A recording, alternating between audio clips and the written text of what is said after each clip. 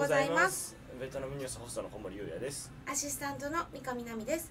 今日もベトナムをもっと身近にをテーマに経済から生活情報まで急成長中のベトナムの今に迫ります。ここの場所が定着しましたね。はい。そう MCV の、えー、と映画館持ってる映画館のなんかちっちゃいブースで撮影してます。はい。ここはねあの公開スペースとなっておりますので散歩がてら気になる方見に来てみてください。そうそう。散歩したら僕らいるやってるかもしれないです2 週間に1回くらいやってます。はい。はい、じゃあ今日もニュースいきましょう、はい。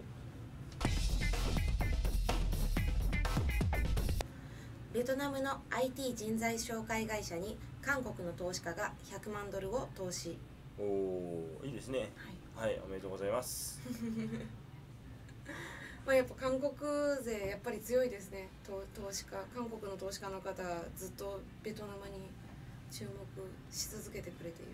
まあねまあでも100万ドルなんでねそんな大した額じゃないけどね。1, 1億円でしょ？うん。だからまあ大した額じゃないですけど。持ったことないんでわかんないですけど、はい。そうですね。えー、まあ投資するとこないですからね他にね。うん。なるえーでやっぱりそのベトナムは GDP のがウハウハなんで、うん。あのーまあ、そんな中で、えーたくさん投資が集まってきてで IT 産業も発展するっていう、まあ、好循環ですよね。うん。はい。やっぱあのでもこれがニュースになるっていうことはやっぱベトナムからしてもやっぱ嬉しいですかね。その他の国からこうやって投資が集まるぐらい。まあ嬉しいですよね、まあ、お金もらえるのは嬉しいですよね。あとそのニュースはプレスリリース出せばニュースには取り上げてくれるので。でそれをアシスタントのバンちゃんが拾ってるっていう感じだと思いますけど。すい。ません余計なこと言いましいた。いいいですいいです。そうやってニュースはあの出てきますから。リクルートはねあのリクルート人材紹介はね結構 IT 化する余地がありますよね。今もともとそういうとこ使ったことないもんね。ないですね。あの昔ながらのリクルートだと人材紹介会社にその転職希望者とか就職希望者が登録してでその人材紹介会社のお姉ちゃんとかお兄さんが面談して「あそうですか転職ですか持っていいところありますよ」とかって言ってうん、であの企業に紹介すると。でど。企業に紹介したら、えーそのその人の給与の、えー、大体23ヶ月分をコミッションとして企業か人材紹介会社に払うっていううん。そういう仕組みですよね、っていうのが人材紹介ビジネスです。で粗利はいいですよね。だってあのその売上原価はかからないわけでしょ、うんうんうん。仕入れ仕入れするのにあの自分から来てくれる。そうそう。でそこそれをお金払ってあの転職希望者を買ってるわけじゃないんで、あのまあ、宣伝費用とかはかかるけど売上原価率自体はかからないわけで、確かはい、で、まあ、ってことは粗利が高い商売ですよにね、うん、ただただ、まあ、そういう流れなんで今話したようにあの人がいないといけないわけね。で一人の人で僕が人材紹介会社の人だとして僕がまあ月間10人紹介できたとしても月間100人とか月間1万人とか無理なのね。あそうですね。うん。労働集約的な、ということは労働集約的な産業で人がいないと回っ人がいて回っていく産業。で売り上げを増やすためには人を増やすしかない。っていうそういう粗利はいいけどでも天井も決まってるっていう産業が、えー、と IT です。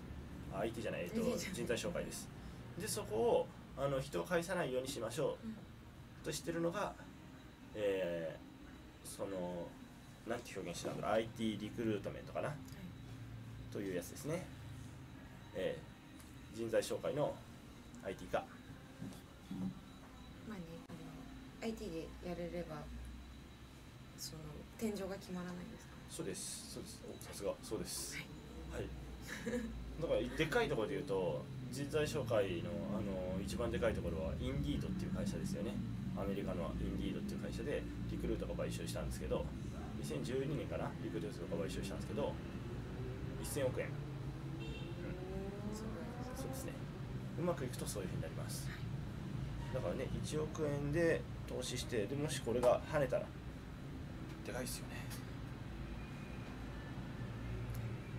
はい。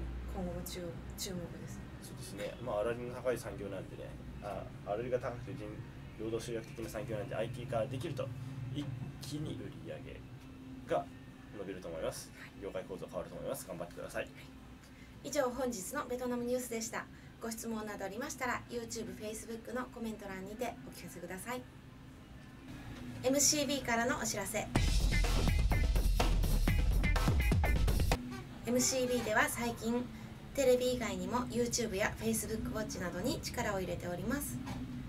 また外国人コンテンツをどんどん増やしており最近ですとですね私も別の番組に出させていただいたりダブルビッシュさんも、うん。あの一日どんな風に過ごすかっていう、ベトナムの吉本のねはい。芸人さんですね。はい。え出ていただいたりしているのでぜひ YouTube チェックしてみてくださいはいよろしくお願いしますそれそれではまた明日